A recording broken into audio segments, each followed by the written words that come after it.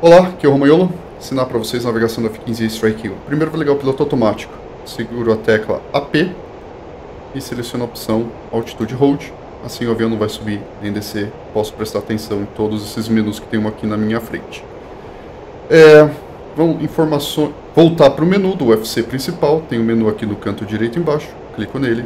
Voltou na tela principal do UFC. Beleza, mas quais são os waypoints que nós temos? Para a gente ver ele, a gente pode ver aqui na tela do TSD. Vou tirar o manche, clico na base do manche, seleciono a opção TSD e temos esse mapa com plano de voo. Vou aumentar o range de visão dele até 160 milhas náuticas e temos os waypoints 1, 2, 3, 4, 5, 6. 1, 2 e 3 está uma bolinha e o 4 está um quadrado e o 5 é um triângulo. O 5 é um triângulo porque ele é um target point, é onde tem um alvo. Waypoint 4 é um quadrado, porque é um waypoint que vem antes do target point. E temos os waypoints 1, 2 e 3, eles são uma bolinha, porque são steer points, é ponto que a gente passa pra, por cima e vai para o próximo. A gente pode ter acesso às informações de cada um desses steer points aqui nessa tela.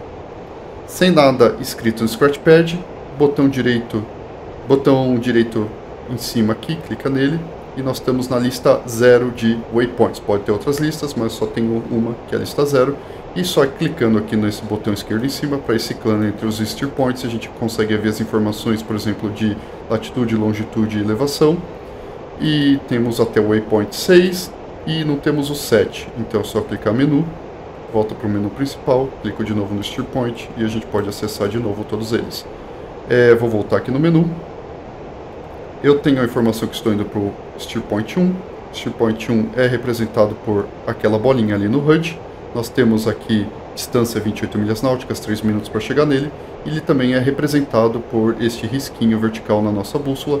Para ir na direção dele, é só colocar essa seta da bússola em cima da barrinha e vamos para lá. Agora eu quero mais informações sobre o waypoints. Eu entro aqui no HSI e eu vou aumentar o range dele até 160 milhas náuticas e cada vez que eu vejo um steer point, ele é representado por uma bolinha no canto direito embaixo Steer Point 1, 353 graus da minha direção, 22 milhas náuticas, 2 minutos para chegar nele. Eu também tenho essas informações também no radar Air-to-Air. Como vocês podem ver, eu tenho as informações do Waypoint 2, Waypoint 3, Waypoint 4, porque é uma vista de cima que nós temos do radar. Agora eu quero ir para o Waypoint 2. Como é que eu faço? Eu clico aqui no número 2, eu vou anotar o número 2 no Scratchpad e vou substituir o número 2 aqui pelo número 1, clicando neste botão do lado do Steer Point 1. Pronto, foi para o Steer Point 2. Steer Point 2 mudou a posição da bolinha no HSI e também mudou a bolinha no HUD. Ele está aqui para a nossa esquerda. Como vocês podem ver, a barrinha foi para a esquerda. Se eu for ali na direção da barrinha da bússola, ela começa a se movimentar e ali está o Steer Point 2. Ah, agora eu quero ir para o Steer Point 3, mesma coisa. Anoto o número 3 no Scratchpad substituo o número 2 pelo número 3 clicando aqui e ele está para nossa direita. Lá está ele. Agora quero ir para o 4. Clico 4, anotou o 4 no Scratchpad. Clico aqui para substituir o 3 pelo 4. E... Lá está o Steer Point 4. Cadê? Lá está ele. Agora eu quero ir para o Steel Point 5. Mesma coisa? Vamos ver. Clico no número 5. Está anotado o número 5 no Scratchpad. Clico aqui e não foi. Por quê? Porque ele não é um Steer Point, ele é um Target Point. Como a gente pode ver aqui, é um triângulo. Para a gente ter acesso ao Target Point, é diferente do Steer Point. Vou limpar o que está anotado no, Scratchpad. Clico em CLR, que é a palavra clear em inglês, limpar. Vou clicar 5 e seguido pela simbologia ponto, fica 5 ponto, clico aqui e fui pro Steer Point 5, que tá aquela bolinha lá na frente, também mudou no nosso HSI. É, e eu quero agora pro 6, mesma coisa, eu clico 6, põe para substituir o 6 do Scratchpad aqui, foi pro 6 que está em algum lugar à nossa esquerda.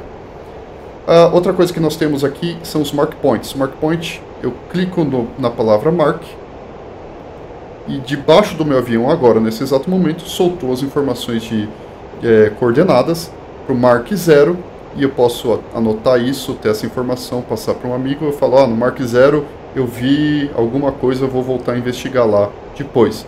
A gente pode também soltar outros marks points, né? Clicando de novo na palavra mark. Eu vou andar aqui mais para frente com o avião. Eu clico aqui na palavra mark. Pronto, soltou o mark 1. Eu vou voltar para as informações do menu principal. Clico aqui em menu. E agora eu quero ir para o mark 0. Então, que nem no teclado, tem a tecla Shift. Vou acessar a letra M nós ficou escrito a letra M, eu quero para o mark point 0, M0, substituo M0 aqui na posição do steer point e voilà, vocês podem ver que a bolinha apareceu atrás de mim, porque o avião está me guiando para o mark point 0. Quero para o 1, clico 1, está escrito 1 no mark point, tem o M aqui, é só clicar ele vai substituir aqui. Mesma coisa para voltar para o 0, clico 0, vai para o 0. Ah, mas eu quero para o steer point 1, como é que eu faço para ir? Lembra que era o steer point 1 alpha? Então vou escrever um alfa no Scratchpad, 1, Shift, letra A, fica um alfa, voltou para a linha de um, é, steer points. Daí eu quero ir agora para o steer point 4, está escrito 4, clico aqui, estou indo para o waypoint 4, quero ir para o 5, 5 ponto, porque é um target point, está escrito aqui no Scratchpad 5 pontos, substituo ele aqui, estou indo para o 5 ponto. Super simples. Se você tem um target pod, clicar aqui na letra M, Target Pod. Eu quero que ele olhe pro waypoint 5, então está escrito, é, escrevo aqui 5 ponto e clico aqui em SP Step e ele olhou lá pro Target Point. Steer Point também é comumente usado para marcar alvo, né? Então, por exemplo, alguém passou uma coordenada, tem um alvo no coordenada tal. Eu tenho 7 waypoints, eu vou, desculpa, eu tenho 6 waypoints, vou adicionar o sétimo então, para isso, eu vou fazer a seguinte informação, vou trazer a seguinte informação para vocês. Sem nada escrito no Scratchpad, clico aqui no número Steer Point, vou entrar na nossa lista de Steer Points. Eu não tenho o Waypoint 7, então eu vou clicar 7, está escrito 7 no Scratchpad. Botão esquerdo superior, eu introduzi o novo Waypoint, Waypoint 7, Steer Point 7 Alpha. Está vazio.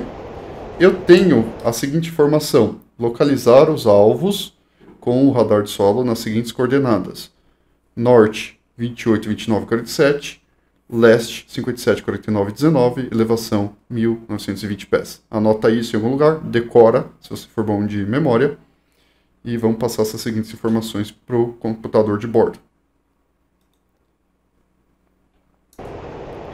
Eu vou anotar aqui então Shift para escrever a letra N, coordenadas 28, 29, 47 e agora eu vou colocar na, vou, o que está escrito no Scratchpad eu vou colocar na linha norte.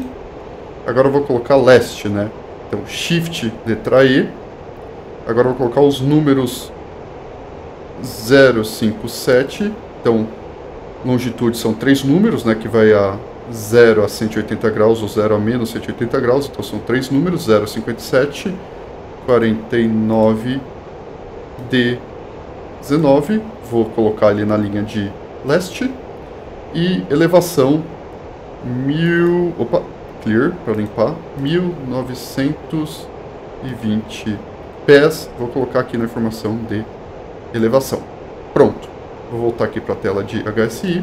Agora eu tenho o steer point 7. Vou voltar para a tela menu e eu vou para o steer point 7. Clico 7, está anotado aqui, vou substituir no lugar do 5 e voilà, nosso waypoint está aqui. E eu também falei para olhar com o radar. Eu vou ganhar um pouco de distância, vou voltar porque a gente está muito próximo dele. É... 20 milhas náuticas é muito perto para conseguir olhar para o radar de solo. Eu vou dar uma volta e eu mostro para vocês como utilizar o radar de solo. Voltando aqui, nós temos o Waypoint 7, a gente tem que observar os inimigos, estruturas inimigas com radar de solo. Então clico na letra M, tem a opção Air to Ground Radar, tomara que não dê crash no jogo. Vou apertar Castle Switch esquerda long. E nós vamos aumentar o range dele. Nós temos o número 7 ali.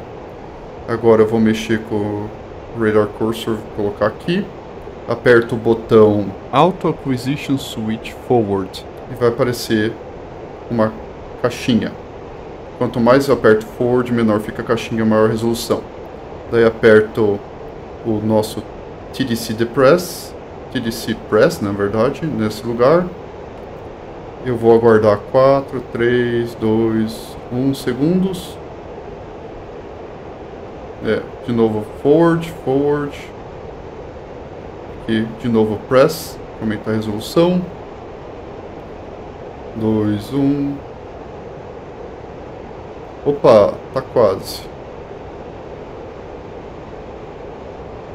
Tá aqui embaixo, tá próximo. Eu consigo ver a sombra do radar. Se eu aperto o botão Auto Acquisition Swift Aft e aperto Press, eu consigo ver a estrutura tá aqui, ó. Agora de novo aperto Forward.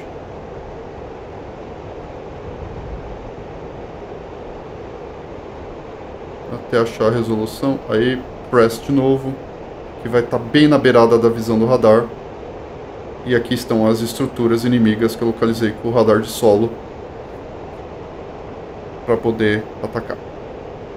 Bem, era isso que eu tinha que falar sobre navegação do F-15E. É um tópico bem chato, mas é uma mão na roda quando você sabe operar, principalmente para localizar alvos, colocar coordenadas, usar os mark points, Espero que tenham gostado desse vídeo, apesar de ser meio chato, mas é importante.